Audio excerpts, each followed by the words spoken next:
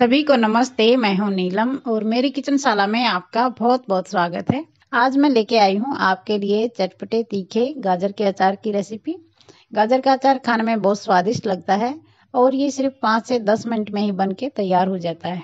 इस अचार को आप चपाती, पराठे, नान, पूरी, भटूरे के साथ खा सकते हैं और चटपटे अचार के मज़े ले सकते हैं।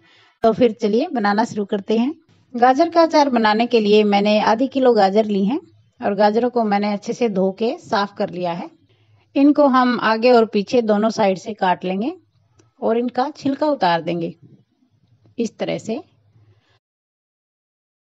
अब इसके मैं चार पीसीस कर लेती हूँ। दो दो इंच के मैंने पीसीस बना लिए हैं। जो सबसे आगे का पतले वाला हिस्सा था, उसके हम दो पीस कर लेंगे। और दूसरे वाले हिस्से के मैं यहाँ चार पीस कर लूँगी। और उसके बाद के छह पीस करेंगे। और सबसे मोटा जो लास्ट वाला हिस्सा था, उसके हम आठ पीस कर लेंगे। और ये देखिए, इस तरह से हम इसकी पतली पतली स्लाइस काट लेंगे। इसी तरह सारी गाजरों को हम छील के काट लेंगे। और ये देखिए, इनको मैंने इस तरह से पतला पतला काट लिया है। इनको हम आधे घंटे के लिए धूप में रख देंगे, ताकि जो थोड़ा बहुत मॉइस्चर होगा इसमें, वो निकल जाएगा। और ये देखिए, गाजरों को मैंने आधा घंटा धूप में रख दिया था। अब इसमें हम मसाले ऐड करेंगे। इसमें मैं डाल रही हूँ एक चम्मच फुल भर के नमक। नमक आप थोड़ा बहुत कम ज़्यादा कर सकते हैं। और अच्छे कलर के लिए एक चौथाई चम्मच हल्दी डाल देते हैं।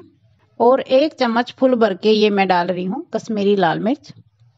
कश्मीरी लाल मिर्च ज़्यादा तीखी नहीं होती और कलर बहुत अच्छा आएगा। इसकी जगह आप जो नॉर्मल घर में लाल मिर्च का पाउडर होता है, वो भी डाल सकते हैं।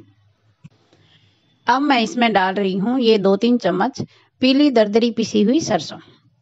गाजर के अचार में पीली सरसों का टेस्ट बहुत अच्छा आता है। पीली सरसों ना हो तो आप राई भी पीस के डाल सकते हैं। ये देखिए, मैं आपको पीली सरसों और राई में डिफरेंस दिखा देती हूँ। पीली सरसों, ये देखिए, इस तरह के पैकेट मिल जाते हैं मार्केट में, और ये पीली सरसों है। और ये जो हल्के ब्राउन कलर की है, ये राई होती है। और एक जो बिल्कुल ब्लैक कलर की होती है, वो सरसों होती है।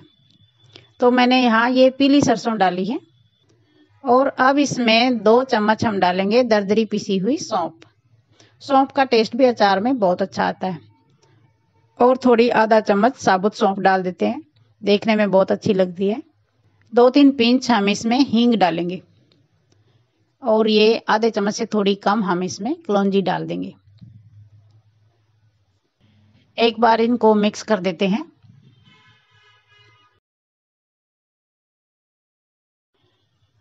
अब मैं डाल रही हूँ इसमें एक नींबू का रस। नींबू का रस आप कम ज़्यादा कर सकते हैं। मैं बाद में इसमें एक चम्मच विनेगर भी डालने वाली हूँ। और इसमें दो चम्मच सरसों का तेल डाल देंगे। ये वही तेल है जो किचन में हम यूज़ करते हैं, कच्ची गानी वाला तेल। दो चम्मच डालेंगे, बस ज़्यादा नहीं डालेंगे।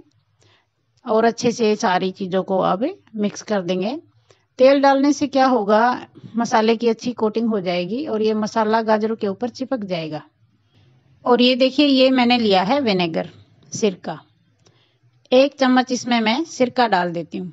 ज़्यादा सिरका नहीं डालना है, एक चम्मच ही काफ़ी है। सिरका डालने से अचार की थोड़ी लाइफ बढ़ जाती है। एक बार इनको अच्छे से मिक्स कर देंगे। और ये देखिए, इनको मिक्स कर दिया है। अब इसको हम ढक के एक दिन के लिए रख देंगे और बीच बीच में मिक्स करते रहेंगे।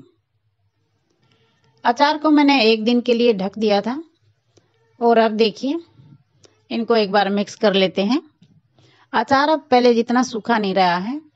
गाजरों ने भी अपना मॉइस्चर छोड़ दिया है और जो हमने इसमें नमक डाला था, नमक भी पिघल गया है, नमक का भी पानी हो गया है। अब ये देखिए, बिल्कुल तैयार है।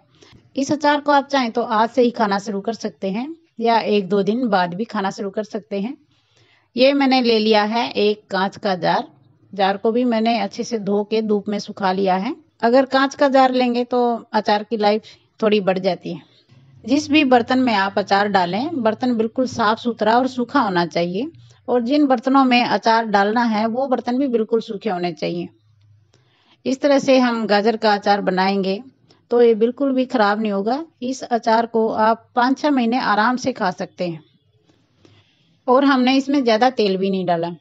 अगर आप अचार को दो तीन साल के लिए रखना चाहते हैं तो आप एक कप सरसों के तेल को अच्छा गर्म कर लीजिए। धुआँ निकलने तक गर्म कर लीजिए। और जब वो बिल्कुल ठंडा हो जाए तो इस अचार के डिब्बे में उसको डाल दीजिए। फिर आपका अचार दो तीन साल भी खराब नहीं होगा। लेकिन ये अचार इतना कम है कि ये तो दस पंद्रह दिन ही चलने वाला है। इसलिए मैं इसमें ज़्यादा तेल नहीं डाल रही। ये ऐसे ही बहुत स्वादिष्ट लगेगा। अगर आप भी गाजर का अचार बनाने का मन बना रहे हैं तो मेरे कहने से एक बार इस रेसिपी को ट्राई करके ज़रूर देखना।